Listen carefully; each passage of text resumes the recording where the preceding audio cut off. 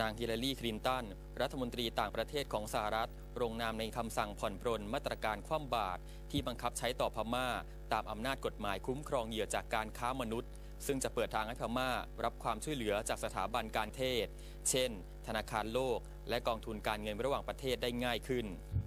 ทั้งนี้กฎหมายคุ้มครองเหยื่อจากการค้ามนุษย์กำหนดให้สหรัฐคัดค้านองค์กรเหล่านี้นำเงินสมทบของสหรัฐไปให้ความช่วยเหลือแก่พม่า แต่การผ่อนปรนมีผลให้สหรัฐยกเลิกคัดค้านองค์กรเหล่านั้น ส่งตัวแทนไปประเมินสถานการณ์พม่า เพื่อพิจารณาให้ความช่วยเหลือ ประธานาธิบดีบารักโอบามา มีคำสั่งให้ผ่อนปรนมาตรการนี้เมื่อวันศุกร์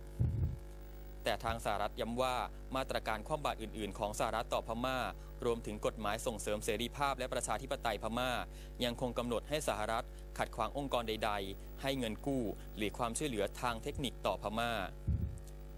การตัดสินใจของรัฐบาลสหรัฐครั้งนี้ มีขึ้นหลังนางคลินตันเยือนพม่าครั้งประวัติศาสตร์ เมื่อเดือนธันวาคมปีที่แล้ว และเป็นเหมือนการให้รางวัลแก่พม่า ที่ปล่อยตัวนักโทษการเมือง เจรจากับนางองซานซูจี ผู้นำเรียกร้องประชาธิปไตย และการทำข้อตกลงหยุดยิงกับกองกำลังชนกลุ่มน้อย บวกกับรัฐบาลพม่า มีความคืบหน้าในการช่วยเหลือเหยื่อค้ามนุษย์